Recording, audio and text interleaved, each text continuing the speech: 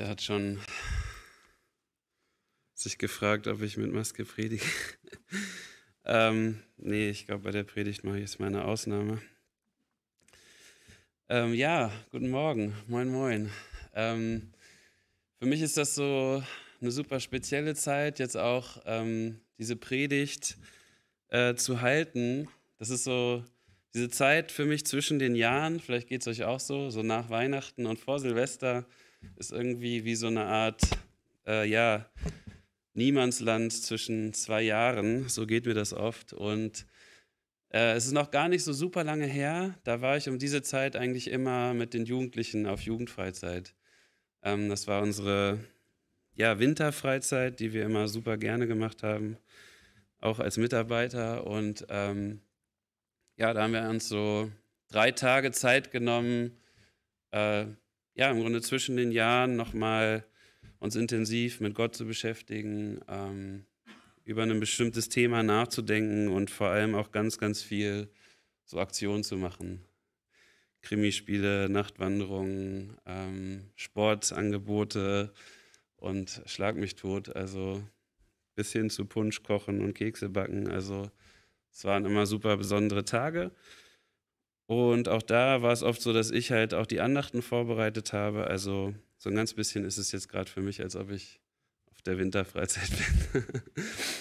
ähm, ja, das Thema, was mir so auf dem Herzen ist, ähm, oder die Predigt, würde ich so überschreiben mit das ungewisse Morgen. Ähm, ich werde jetzt nicht in Sprüche weitermachen einfach, obwohl das das Thema und auch die Bibelstellen, die ich heute habe, ähm, sind schon auch ähm, verwandt mit Sprüche. Ähm, das werdet ihr gleich merken. Da gibt es eine Verwandtschaft und eine Verbindung. Aber dieses ungewisse Morgen habe ich doch, also mir geht es total so, ne? wenn ich ins nächste Jahr schaue, weiß ich nicht, ja, was kommt da so auf uns zu, was kommt auf mich zu, was kommt auf die Löwenkinder, der Kindergarten, in dem ich äh, arbeite, was kommt auf die Löwenkinder zu, ähm, wie wird das sein auf der Arbeit? Wie werden wir das machen können? Aber auch als Familie so, ne? Was, wie wird sich das Ganze so auf uns auswirken? Aber auch so das, das ganze Land, so, ne? Wie wird sich das entwickeln 2021? Wirtschaftlich und politisch. Wahlen, nächstes Jahr, Bundestagswahlen, so, ne?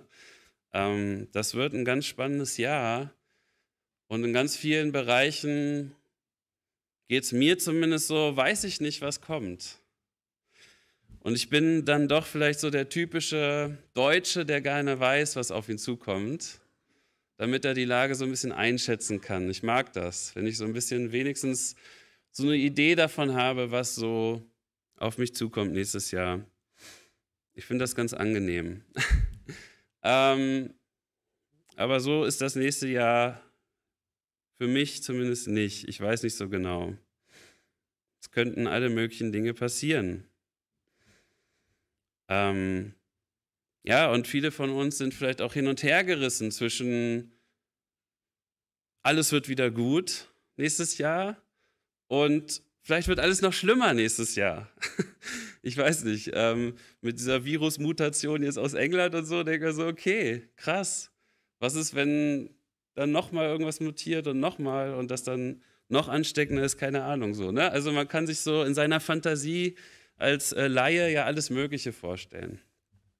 Ich habe ja keine Ahnung von, von Viren, aber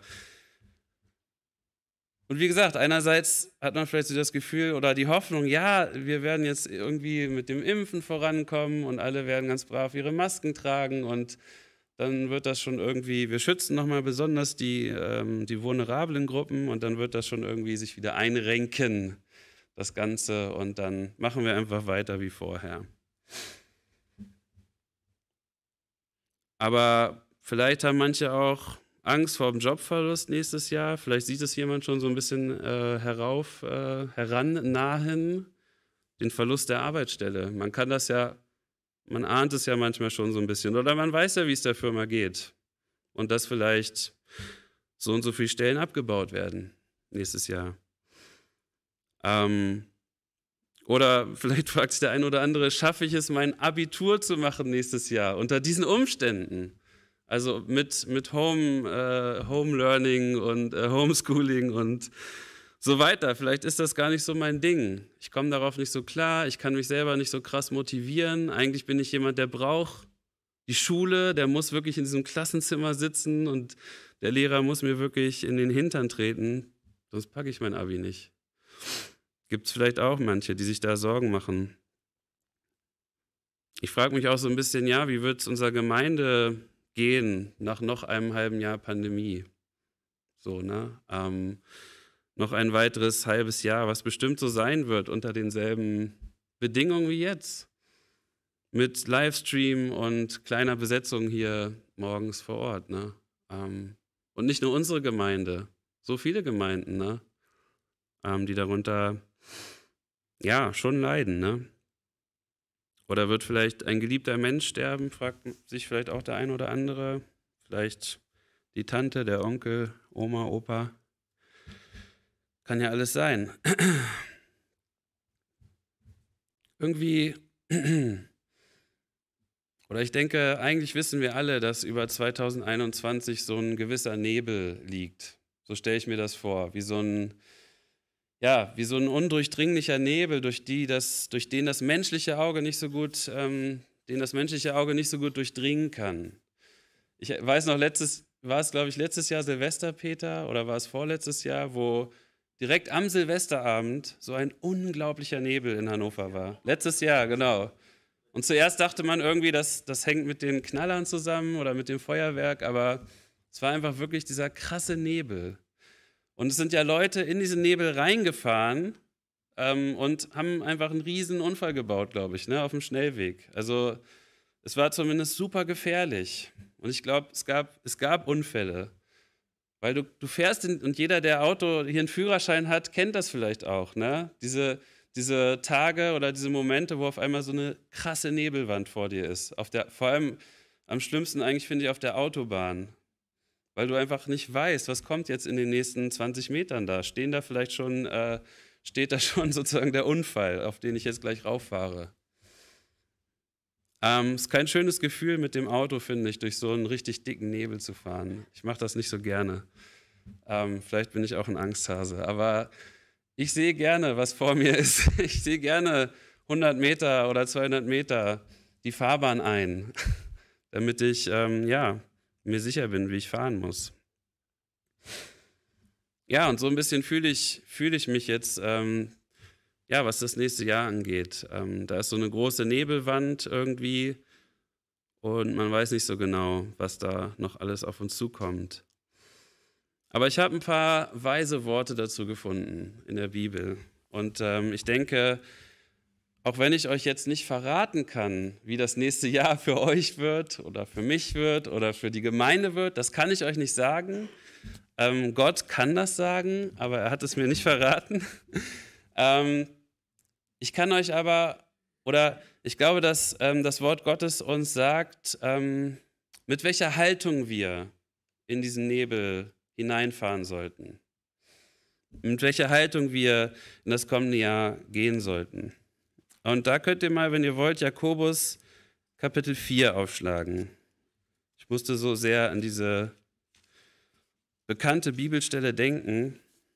Ähm, Jakobus 4, Vers 13. Habt ihr vielleicht alle schon mal gehört. Nun also, die ihr sagt, Heute oder morgen wollen wir in die und die Stadt gehen und dort ein Jahr zubringen und Handel treiben und Gewinn machen, die ihr nicht wisst, wie es morgen um euer Leben stehen wird. Denn ihr seid ein Dampf, der eine kleine Zeit sichtbar ist und dann verschwindet. Statt dass ihr sagt, wenn der Herr will, werden wir sowohl leben als auch dieses oder jenes tun. Nun aber rühmt ihr euch in, euer Groß, in euren Großtuereien. Alles solches Rühmen ist böse. Wer nun weiß, Gutes zu tun und tut es nicht, dem ist es Sünde. In diesem Jakobusbrief, Jakobus kritisiert diese eine bestimmte Haltung, mit der man in die Zukunft blickt oder schaut oder äh, guckt letztendlich. Ich glaube nicht, dass Jakobus es kritisiert, dass wir planen. Wir müssen ja planen. Wir müssen uns auch manchmal einfach einen Plan machen. Wir, und das sollen wir auch. Wir müssen auch weise sein. Ne? Wir müssen ja auch überlegen, okay, wie kann ich nächstes Jahr meine Familie versorgen? Wie kann das aussehen? Was, was, was passiert da vielleicht? Was kommt da auf mich zu? Aber was Jakobus halt ähm, anspricht, ist so eine falsche Selbstsicherheit, die wir dann manchmal haben. Gerade vielleicht wir als reiche, reiche Westler, die doch größtenteils, ja, zähle ich uns zu den Reichen auf der Welt. Wir haben schon eine gewisse Sicherheit, wir haben schon eine gewisse, wir können schon gewisse Dinge planen. Ähm, es, wir müssen uns nicht überlegen, habe ich morgen noch genug zu essen im Kühlschrank. Meistens nicht. Ich weiß, das gibt es auch in unserem Land, ähm, aber es betrifft Gott sei Dank nicht so super viele von uns. Vielleicht doch mehr als wir denken. Aber die meisten von uns hier, glaube ich, können ganz gut planen und schauen und ähm, sind ganz gut abgesichert. Und diese Sicherheit kann aber auch zu so einer falschen Selbstsicherheit werden. Dass wir irgendwie Gott gar nicht mehr mit einrechnen. Dass wir irgendwie gar nicht mehr im Blick haben, dass Dinge passieren können, die wir gar nicht ahnen. Dass wir denken, alles läuft immer nach Plan oder nach meiner Pfeife oder so, wie ich das möchte. Und ich glaube, hier wird eine super, hier, hier gibt uns Jakobus einen super heißen Tipp dafür und eine, eine gute, ähm, also eine gute Anleitung, wie man, äh, wie man weise in die Zukunft blickt und wie man weise in die Zukunft geht. Und auch wenn die Zukunft äh, ja im Nebel liegt, gerade dann, aber auch wenn sie nicht scheinbar nicht im Nebel liegt, wenn ich scheinbar alles voraussehen kann, wenn ich scheinbar ähm, ja, alles voraussagen kann. Ich werde dann äh, in diese und diese Stadt ziehen, dann werde ich studieren, dann werde ich dort meinen Abschluss machen, dann ziehe ich wieder zurück. Äh, ne? Oder ich werde da meinen Job annehmen nächstes Jahr im, im Sommer. Ähm, ich habe meinen Vertrag da unterschrieben, dann mache ich das so und so. Ähm, und Jakobus sagt, okay, ähm, aber das ist, du vergisst da etwas ganz Wichtiges. Du vergisst, dass letztendlich Gott auch noch ein Wörtchen mitredet. Dass Dinge passieren können, die du jetzt nicht voraussehen kannst. Es kann sogar sein, dass du morgen gar nicht mehr am Leben bist. Mach dir das klar. Und geh mit dieser Haltung in die Zukunft. Mach dir klar, ich weiß nicht mal genau, was morgen ist. Und plane in dieser demütigen Haltung das nächste Jahr. Geh in das nächste Jahr, ja, in, in dieser Haltung, dass ich nicht mal weiß, was morgen sein wird, ob ich morgen noch lebe. Ob ich nächstes Jahr noch lebe. Ob ich diese Stelle dann überhaupt annehmen kann. Wenn ich tot bin, kann ich es nicht mehr. ne? Das ist eine weise und gute Haltung, mit der wir in die Zukunft schauen können. Und auch in das Jahr 2021. Das ist vielleicht fromm, wenn man immer diese Floskel, es kann so eine Floskel sein, so Gott will. Ähm, ja, kann es, aber es bleibt trotzdem richtig. Es kann zu einer Floskel werden, aber der Satz ist deswegen nicht falsch. Wir sollten ihn benutzen. Wir sollten uns trauen, das zu sagen, auch wenn es fromm klingt. So Gott will. So Gott will, werde ich nächstes Jahr anfangen zu studieren. So Gott will, schaffe ich mein Abitur nächstes Jahr. Und so ich mich auch anstrenge. Aber natürlich greifen immer menschliches Handeln und Gottes Handeln, das greift ineinander. Das spielt natürlich zusammen. Aber trotzdem, so Gott will. Und ich lebe.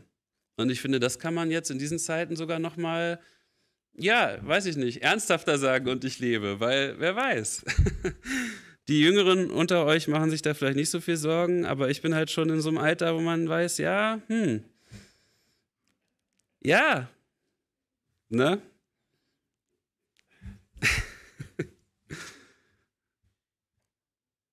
Wenn der Herr will und ich lebe, werde ich 2021 meine Arbeit behalten können und meine Familie weiter versorgen können. Aber es ist nicht garantiert. Ich weiß es nicht. Gott weiß es. Und in dieser demütigen Haltung gehe ich ins nächste Jahr. Und das ist eine weise Haltung, denke ich. Das, ja, das ist nicht normal, so denken wir vielleicht nicht sozusagen natürlicherweise, aber es ist, ähm, es ist die Weisheit Gottes dass wir wissen, das Leben schlägt manchmal ganz schöne Kapriolen. Das Leben ist manchmal eine ganz schöne Achterbahnfahrt. Und wir wissen manchmal gar nicht, wohin es uns verschlagen wird. oder was passieren wird, wer, wer in unser Leben hineinplatzen wird, ungeahnterweise und uns beschäftigen wird. Vielleicht in einem Maße, was wir jetzt noch gar nicht voraussagen können. Wir wissen nicht mal, was morgen ist, sagt Jakobus. Und Jakobus war total der Fan von den Sprüchen und von der gesamten Weisheitsliteratur im Alten Testament. Er ist ein richtiger Fanboy davon gewesen. Wenn ihr den Jakobusbrief lest, ist es, als ob ihr Sprüche lest. Ist es, als ob ihr Prediger lest. Ist es, als ob ihr in dem Psalm lest. Dieser Mann liebte diese Literatur. Es konnte wahrscheinlich das alles auswendig. Und das merkst du in dem Brief. Da taucht so viel, da hat er so viel Weisheit hineingenommen aus dem Alten Testament, aus diesen Weisheitsbüchern. Ähm, und auch das, was er hier sagt, zum Beispiel in Sprüche 27 steht, rühme dich nicht des morgigen Tages, denn du weißt nicht, was ein Tag gebiert. Das ist genau der Gedanke, den Jakobus hier den Adressaten seines Briefes deutlich machen will, die anscheinend diese Weisheitsliteratur noch nicht so inhaliert haben wie er. Leute, ihr wisst doch nicht mal, was morgen passiert. Was macht ihr für Riesenpläne? Ne? Chillt mal, kommt mal runter. Ähm, macht euch mal klar, dass ihr nicht mehr wisst, was morgen ist. Denn du weißt nicht, was ein Tag gebiert. In Deutschland gibt es so diesen Spruch etwas abgewandelt. Ne? Du sollst den äh, Tag nicht vor dem Abend rühmen. Das stimmt. Denn es kann immer noch was dazwischen kommen. Abends, wenn du im Bett liegst, guck zurück und rühme den Tag, wenn er gut war. Und sag, dieser Tag war gut. Danke, Jesus. Aber sag's nicht, bevor du im Bett liegst und eingeschlafen bist. Denn du weißt nicht, was alles noch passiert. Und das ist halt, ähm, ich glaube, wir machen uns das auch aus Selbstschutz nicht so ganz klar, weil einen das letztendlich total verängstigen könnte. Ja, wenn man immer an all das denkt, an all das auch Schlimme, was passieren könnte, das würde uns ja total lähmen. Aber deswegen ist genau das eben weise zu sagen, so Gott will. Wir müssen Gott mit einrechnen. Wir müssen Gott ähm, ja, auf dem Schirm haben, wenn es um unsere Zukunft geht. Auch wenn es um das nächste Jahr geht, dürfen wir Gott nicht außen vor lassen. In unseren Plänen, in unseren Hoffnungen, auch aber nicht in unseren Sorgen und Ängsten. Und noch einen, einen, sehr heißen und guten Tipp für das kommende Jahr und für eine ungewisse Zukunft, auf die man zugeht, ist äh, in Prediger Kapitel 11. Äh, Prediger Kapitel 11 ist super interessant. Mm, da gibt uns der Prediger ein paar sehr, sehr gute Hinweise darauf, wie wir uns weise verhalten, im Blick auf die Zukunft, auf die kommenden Jahre. Und da steht in Vers 1, äh, wirf dein Brot hin auf die Wasserfläche. Oder manche Übersetzungen sagen auch, lass dein Brot über das Wasser fahren. Ja? Erstmal ein ganz, ganz seltsamer Satz. Vielleicht denken manche so an Enten füttern. Also ich musste so daran denken, ne, wann wirft man schon mal Brot aufs Wasser? Ja, im Stadtpark, bei den Enten. So als Kind immer gerne gemacht, habe mich total gefeiert, ne? wenn die Enten dann die Brotkrumen gefressen haben. Ähm, aber der Prediger meint, glaube ich, nicht Enten füttern.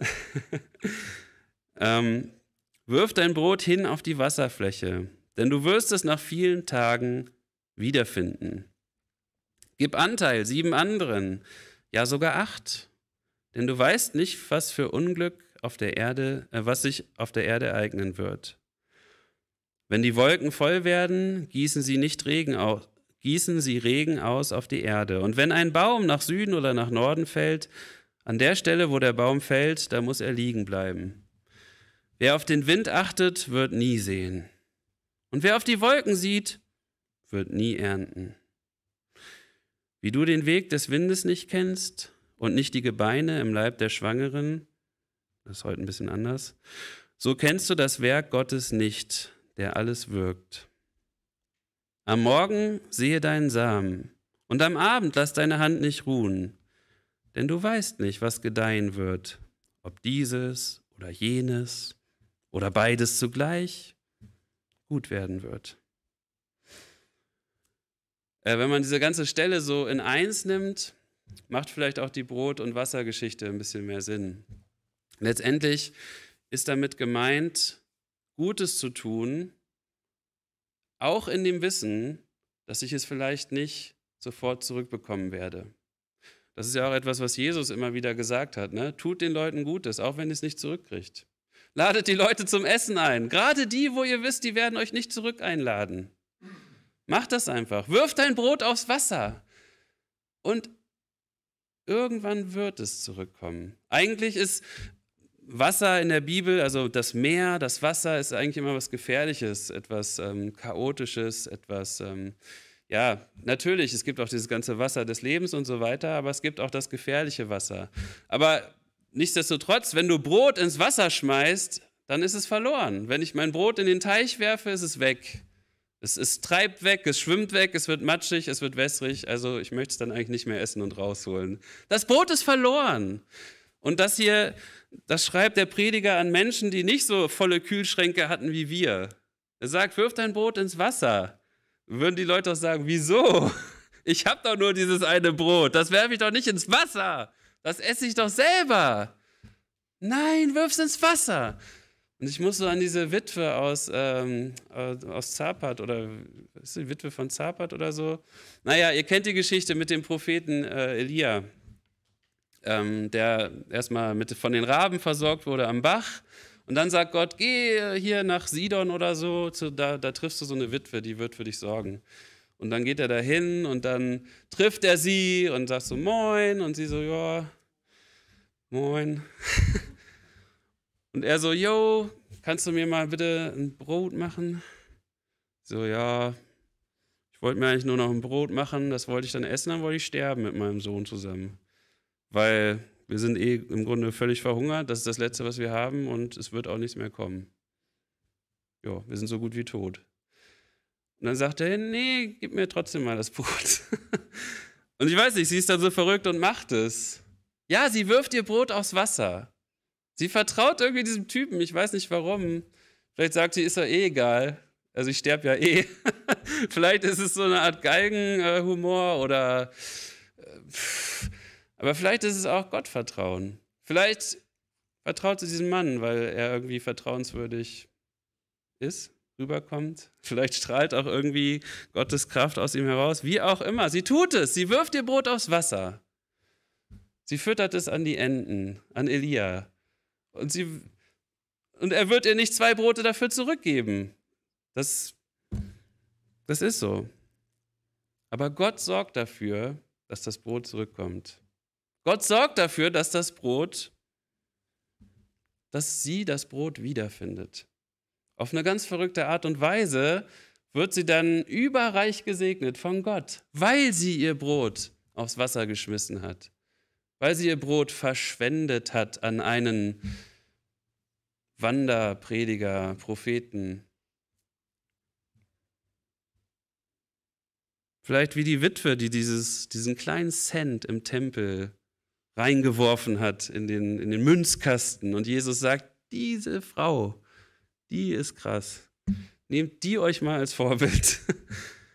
So, wieso? Die hat doch nur einen Cent. Ja, aber das war alles, was sie hatte. Sie hat gerade alles, was sie hatte, da reingeworfen. Es war nur ein Cent, aber mehr hat sie eh nicht gehabt. Sie hat ihr Brot aufs Wasser geworfen, in dem Vertrauen.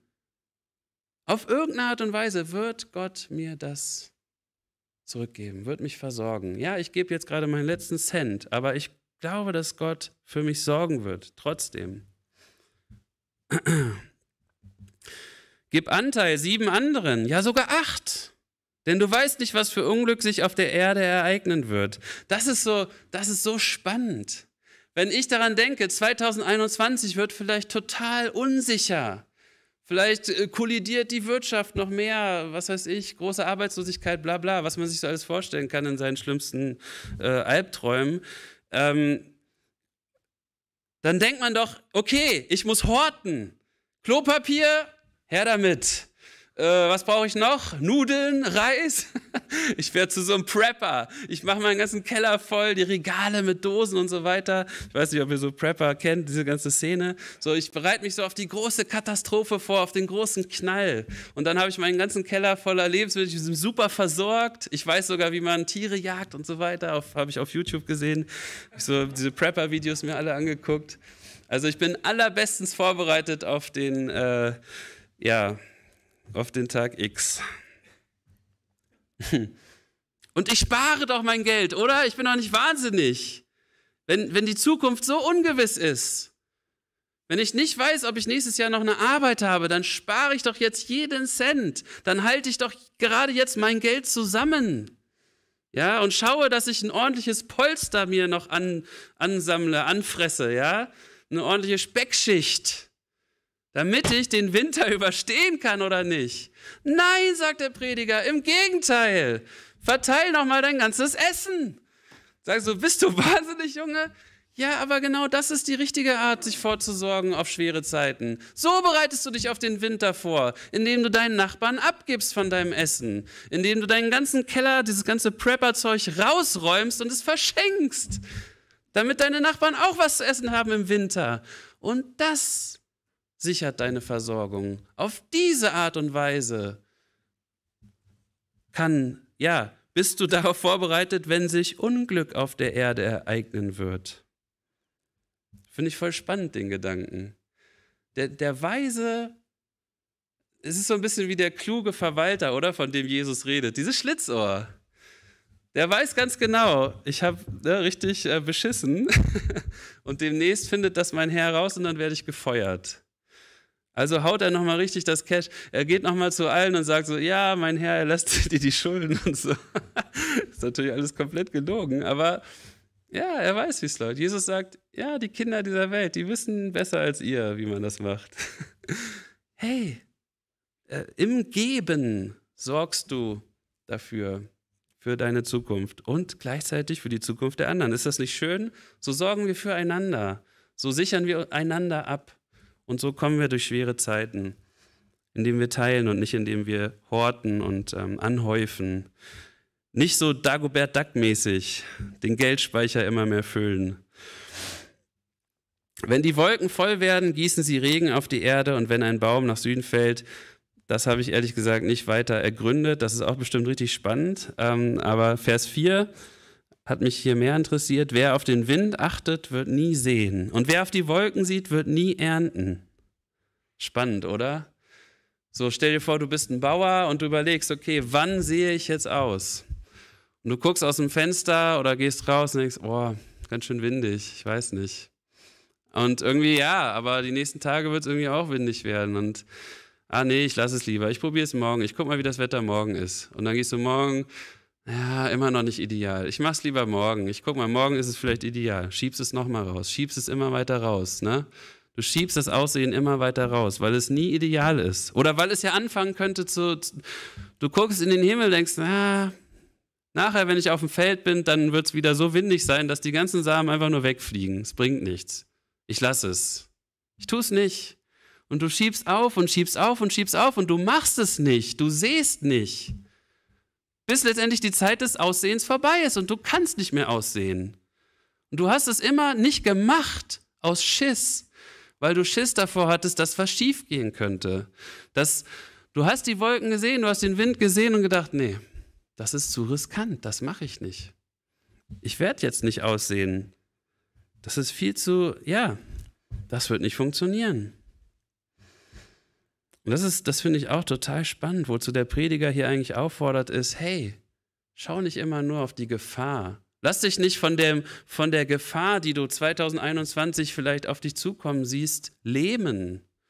Ja, lass dich davon nicht lähmen, in dem, in dem, was du eigentlich tun musst. Du musst sehen, du musst ernten. Mann, du bist ein Bauer, das ist deine Lebensgrundlage, das musst du tun. Das ist wichtig für dich.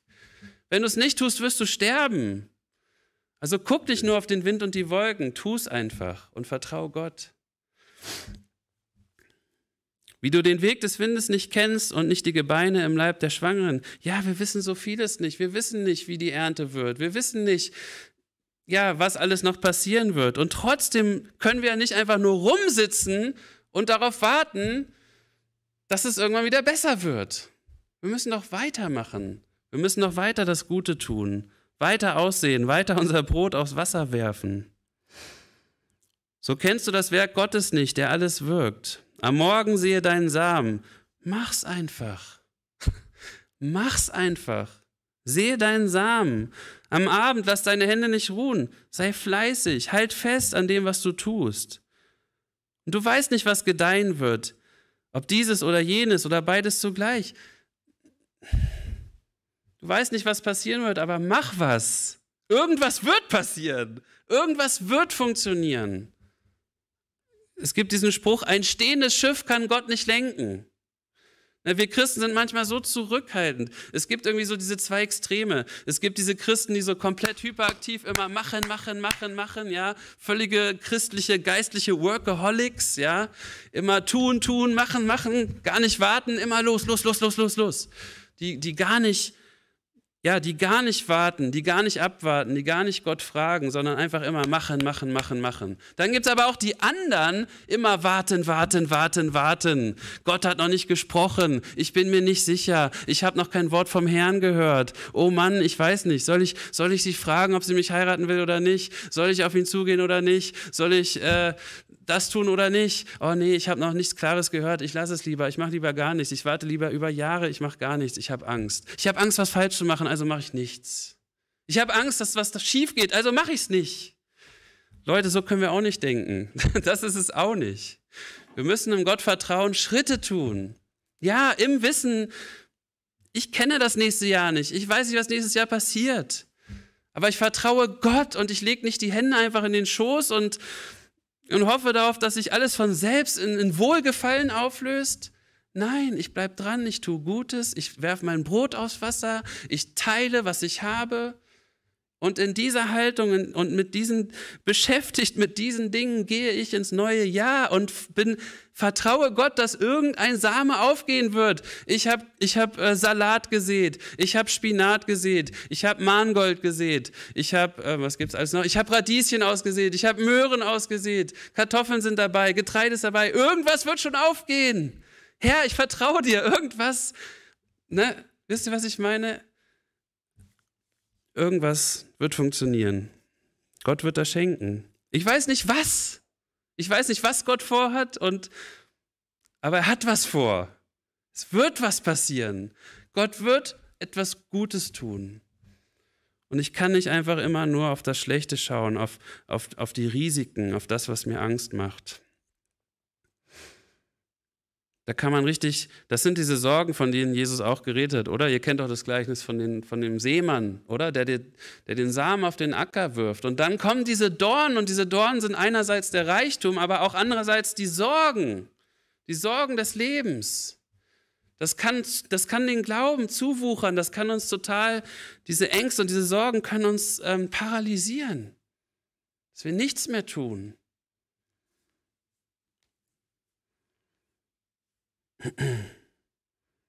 Lass dich nicht hängen in dieser Zeit vor 2021. Lass uns mutig sein, lass uns fleißig sein. Probieren wir verschiedene Dinge und schauen, was funktionieren wird, welcher Same aufgehen wird und alles im Vertrauen auf Gott und Gott anbefohlen. Geschwister, ich meine noch nicht, dass ihr einfach irgendwas machen sollt ohne Jesus. Nein, macht irgendwas mit Jesus. Aber macht es mit dem Herrn und dann wird der Herr euch schon sagen und zeigen, ob das, wisst ihr, was ich meine? Und wenn es total falsch wird, dann ist er doch ein guter Hirte und sagt, komm mal zurück, Schäfchen, mach mal lieber das. Das ist total falsch. Das ist gar nicht der Weg. Hier, komm, geh mal den Weg. So ist doch unser Herr, oder? Er wird doch nicht kommen und uns totschlagen deswegen, weil wir mal einen falschen, eine falsche Abbiegung genommen haben. Spinnst du? Ich habe gesagt, da lang, aber du hast ja nicht gewartet, du bist da lang gegangen.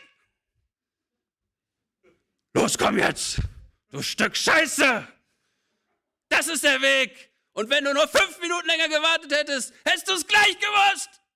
Mann, so rede ich doch nicht mit meinem Sohn, wenn er mal, ne, wenn, man, wenn ich zum Spielplatz will und mein Sohn fängt an, in die falsche Straße einzubiegen, dann, dann trete ich ihn doch nicht tot deswegen oder gebe ihm eine Schelle.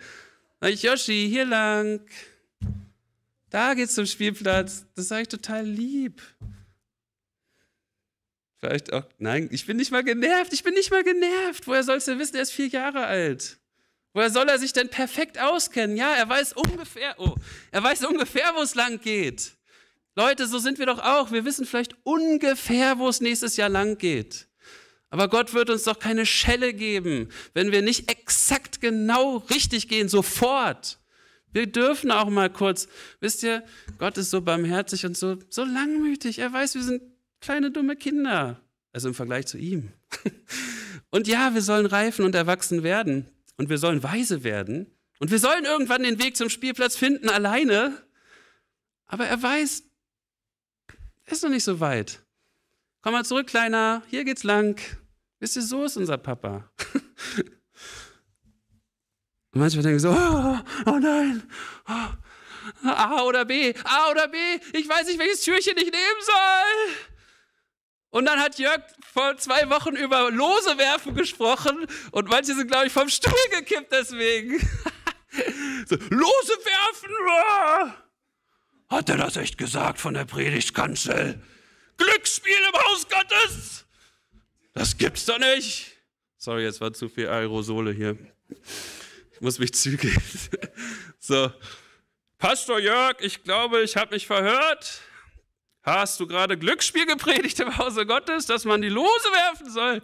Nein, er hat gesagt, damals haben die Leute ja Lose geworfen, das ist die Wahrheit, nichts als die Wahrheit. Und sie haben es Gott anbefohlen, weil sie sich nicht zu helfen wussten manchmal. A oder B, A oder B, Türchen 1, Türchen 2, was soll ich wählen? Beides ist sehr gut. Manchmal, hat, manchmal weiß man nicht, es gibt zwei gute Wege, zwei gute Lösungen, man weiß einfach nicht, was soll ich machen. Ich kann nur eine Sache machen, was soll ich machen? Zwei Apostel zur Auswahl, was soll ich machen? Die sind beide super, super Kerle. Entsprechen beide den, den Apostel-Anforderungen. Äh, ne? Haben sie die Lose geworfen. Aber nicht als Glücksspiel, sondern gesagt, Gott, wir wissen nicht, was wir machen sollen, wir werfen jetzt einfach eine Münze, fertig. Sag mir nicht, dass du es noch nie gemacht hast. manchmal, und wisst ihr was? Das ist eigentlich gar nicht mein Thema, aber manchmal ist es sehr klug auszulosen. Wisst ihr warum? Weil dann nicht einer sagen kann, das war doch alles vorher eingefädelt. Ja, ich weiß, warum er Apostel geworden ist, weil ihr gestern schon darüber gesprochen habt in diesem Hinterzimmer, hinter verschlossenen Türen und ihr habt das alles schon abgekaspert, schon vor Wochen, das weiß ich. Und ich war schon vor Wochen raus, das weiß ich. Ja? Das ist gefaked, diese Wahl. Fake-Wahl, ja? Ihr habt die Wahlzettel gefälscht. Deswegen ist er jetzt Präsident. Deswegen ist er jetzt Apostel. Wisst ihr, was man bei Losen einfach sagen kann? Junge, wir haben Lose geworfen, du warst dabei. Wir haben die Lose. Okay, man könnte sagen, die Lose waren, die Würfel waren gezinkt. Aber diese Lose, ihr wisst, was ich meine. Es wird irgendeiner und das Los hat entschieden. Der Herr hat entschieden. Also find dich damit ab, Junge. Es hat niemand irgendwelche Absprachen getroffen. Es hat keine Lobby irgendwas beeinflusst im Vorhinein. Es wurde kein Geld gezahlt. Und ihr denkt jetzt, das ist crazy, was ich sage, aber wisst ihr was? Der Posten des Hohepriesters im Tempel wurde so vergeben. Mit Geldzahlung, mit Meuchelmord sogar.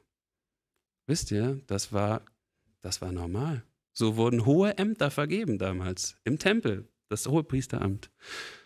Da, da wurde nicht Gott gefragt, was er vorhat. Da wurden hohe Geldsummen überwiesen, da wurde Bestechung gemacht und so weiter. Da wurde nicht das losgeworfen. Und hinterher wussten alle, warum der hohe Priester ist, weil er aus einer Milliardärsfamilie kommt. Deswegen ist das jetzt unser Chef. Nicht, weil das, ne, nicht weil Gott es wollte, sondern weil die Kohle haben bis zum Abwinken. Deswegen. Also, wie komme ich darauf?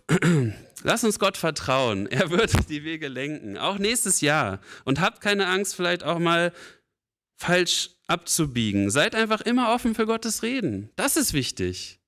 So, ja, wir werden manchmal in, die falsche, in den falschen Weg einbiegen, aber wenn du offen bist, wenn du dein Navi anhast, dann sagt dein Navi bitte umdrehen. Und dann sagt auch Gott bitte wenden. Und dann wendest du. Sei nicht so stur dann und zieh's durch. Nein, dann wende auch. Hör dann auch auf Gott. Aber habt doch keine Angst, Schritte zu tun. Habt doch keine Angst, nach vorne zu gehen. Und teil mit anderen. Spar nicht jeden Euro. Das ist eine gute Art und Weise, wie wir ins nächste Jahr gehen können. Als Menschen, die Gutes tun, als Menschen, die teilen. Menschen, die Gott vertrauen, aber die nicht die Hände in den Schoß legen. In ähm, Timotheus schreibt ähm, schreibt Paulus den Reichen in dem gegenwärtigen Zeitlauf, gebiete nicht hochmütig zu sein, noch auf die Unwissenheit des Reichtums Hoffnung zu setzen, sondern auf Gott, der uns alles reichlich darreicht zum Genuss. Gutes zu tun, reich zu sein in guten Werken, freigebig zu sein, mitteilsam, indem sie sich selbst eine gute Grundlage für die Zukunft sammeln. Wie sammelst du dir eine gute Grundlage für die Zukunft? Teile, was du hast. Teilen, abgeben. Das ist das Beste, was du machen kannst, wenn es um deine Zukunft geht, wenn es ums nächste Jahr geht. Und ich weiß, dass viele in unserer Gemeinde das machen. Das ist so cool. Als Ältester habe ich so ein bisschen Einblick. ich, ich kann auch manchmal aufs Konto gucken. Ich sehe, was für Spenden eingehen. Und ich, ich bin so dankbar, wirklich, dass so viele Leute in der Gemeinde leben das.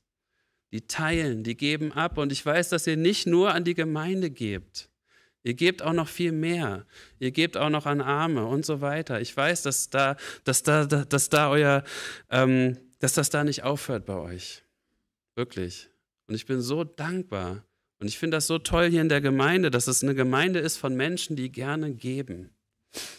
Der Gemeinde, aber auch darüber hinaus. Unseren Missionaren, wir können unsere Missionare so gut unterstützen. Das geht aber nur wegen euch, weil ihr bereit seid zu teilen. Das ist so krass. Wir können Marius und Anja so gut unterstützen in Jordanien. Wir können, was wir für Geld nach Rumänien geschickt haben, Leute, in den letzten Jahren, an die Gemeinde in Rumänien. Wir, ich will uns nicht selbst beweihräuchern, aber ich will nur sagen, hey, wir sind da doch schon auf einem guten, wir sind da schon in der richtigen Richtung unterwegs. Lass uns darin beständig bleiben, auch wenn die Zeiten schlechter werden. Auch wenn es 2021 vielleicht nicht so rosig aussieht. Lasst uns darin beständig bleiben. Lasst, uns, lasst euch keine Angst machen im Geben. Und ich sage mir das auch selber, denn ich hab, bin auch selber so, dass ich denke, hm, na, ich habe jetzt zwei Kinder, ich bin jetzt nicht nur Laura und ich. Ja, Vorsorge und so weiter, ja. Aber lasst uns nicht, nicht weniger werden im Geben im Gutes tun, im freigebig sein, im mitteilsam sein. Also, 2021, ja, es ist ungewiss, aber wir sollten als Gottes Kinder kein Trübsal blasen. Wir sollten nicht frustriert auf unseren Sofas rumgammeln und auf bessere Zeiten warten. Wir müssen Brot aufs Wasser schmeißen, Leute. Wir müssen sehen, trotz Wind und Wolken. Wind und Wolken sind da. Alle sehen sie. Wir alle sehen den Wind und die Wolken. Die sind jetzt schon da, die werden auch nächstes Jahr noch da sein. Wir wissen das. Und wir gehen trotzdem raus und sehen. Und wir gehen trotzdem raus und ernten. Ist egal, komm, machen wir. Im Vertrauen auf unseren Herrn. Und wir müssen darin fortfahren. Galater 6, lasst uns aber im Gutes tun nicht müde werden. Denn zur bestimmten Zeit werden wir ernten, wenn wir nicht ermatten. Lasst uns also nun, wie wir Gelegenheit haben, allen gegenüber Gutes wirken. Am meisten aber gegenüber den Hausgenossen des Glaubens. Oh Mann, das hört sich an, als ob Christen Gutmenschen sind. Ja, Christen sind Gutmenschen. Christen sollen das Gute in die Welt bringen. Wir sind Vertreter des Guten. Wir sind die Guten. Aber nicht in einem stolzen, äh, äh, wir sind die Guten, ihr seid die bösen Sinne, nicht in Hochmut und äh, fasst uns nicht an, ihr Ekelhaften. Nein, aber wir sollten das Gute in diese Welt tragen. Ja, und das ist auch das Evangelium. Das ist auch die gute Botschaft. Das ist auch, dass Gott rettet, dass Gott lebt, dass Gott immer noch rettet und dass Gott, dass Gott es liebt, Menschen zu sich zu ziehen, dass Gott möchte, dass alle gerettet werden. Aber es ist auch geben, teilen helfen. Zeit, Kraft, Geld. Also sei offen, sei demütig und frag deinen König Jesus, wie du im Jahr 2021 ihm die Ehre geben kannst. Und wie 2021 ein Jahr wird, wo dein Leben Gott ehrt. Und das kann so verschieden aussehen. Bei dem einen wird es ein Jahr sein, wo er vielleicht vier, fünf, sechs Mal auf die Straße geht und das Evangelium ähm, weitergibt. Das ist gut. Bei dem anderen wird es sein, dass er in seinem Job hart arbeitet, eine Menge Geld verdient und eine Menge von diesem Geld teilt, eine Menge Brot aufs Wasser schmeißt. Bei dem anderen wird es sein, dass er in seinem Studium ranklotzt, um einen guten Abschluss zu machen und dann wird Gott ihn irgendwo hinbringen, wo er, wo sein Platz sein wird und wo er zum Segen werden kann für viele. Denkt an Daniel und seine Freunde. Wisst ihr, die Arten und Weisen, die Art und Weise, wie, wie du, wie ich, wie wir alle das nächste Jahr Gott ehren werden, werden unterschiedlich sein. Und wir sollten nicht auf den einen oder anderen herabgucken, weil er auf eine andere Art Gott ehrt, das Gute tut und ähm, Gott verherrlicht. Wisst ihr, was ich meine? Oh, der kommt nie mit auf die Straße. Oh, ich weiß nicht mal, ob der Bruder errettet ist. Ja, immer nur arbeiten, ne? Ja, schlimm, ne? ja, wisst ihr, es gibt Berufe, da muss man verdammt viel arbeiten. Ich denke an meine Schwester zum Beispiel, die ist Ärztin im Krankenhaus. Was willst du da machen? Das ist ein Knochenjob. Aber ich weiß, dass sie in ihrem Job, wenn sie da mit der richtigen Haltung reingeht, verherrlicht sie Gott in ihrer Arbeit durch das, was sie dort tut. Und Gott hat so viele Arten und Weisen und Wege für euch. Wenn ihr offen seid, dann wird es so kommen. Dann werdet ihr 2021 Gott die Ehre geben und dann wird es ein gutes Jahr. Ich bete noch kurz. Herr, wir bringen dir dieses kommende Jahr, auch wenn jetzt noch nicht äh, der Silvester-Gebetsabend ist, aber ich habe schon mal ein bisschen vorgegriffen, Herr. Und ähm, ja, Herr, hilf uns, dass wir mit der richtigen Haltung ähm, in dieses nächste Jahr hineingehen, Herr. Offen für, für all das Neue, was du vielleicht vorhast, Herr. Offen für all das Gute, was du vielleicht durch uns tun möchtest, Herr. Aber auch in der Demut, dass wir nicht, ja, dass dass letztendlich wir wissen, Herr, wir, wir können, wir wissen nicht mehr, was morgen passiert, ob wir noch leben. Aber gleichzeitig auch in dem Vertrauen, aber Gott weiß es und ja, der Herr ist mein Hirte. Mir wird nichts mangeln. Und gib uns wirklich den Mut, Herr, ähm, ja, gib uns den Mut, unsere Brote aufs Wasser zu schmeißen, Herr. Ich bin selber manchmal so unmutig, Herr. Ich bin selber manchmal auch so egoistisch, Jesus. Und Gönn mir lieber selber was, anstatt meine Brote aufs Wasser zu schmeißen. Herr, bitte hilf uns, dass wir darin mehr wachsen. Und äh, danke, dass wir, ja, dass du uns schon Freimut echt krass gegeben hast in der Gemeinde. Aber hilf uns, dass es noch mehr wächst. Auch echt, egal wie schlecht die Zeiten werden, dass es, dass es mehr wird, unsere Freigebigkeit. Ja, gib uns Herzen, die auch ihr letzten Cent reinschmeißen würden, Herr, für eine gute Sache. Ähm, für dich, Herr dass wir auch unseren letzten Cent geben würden. Einfach im Vertrauen auf dich, Herr, und deine Versorgung. Und danke, dass du mit uns hineingehen wirst in dieses kommende Jahr, dass du dabei sein wirst und, ähm, und uns auch zurückpfeifen wirst, wenn wir irgendwie ja, den falschen Weg einschlagen oder ja, in eine Richtung gehen, die eigentlich gar nicht die Richtung ist, wo wir hin sollten, Herr. Danke dafür. Amen.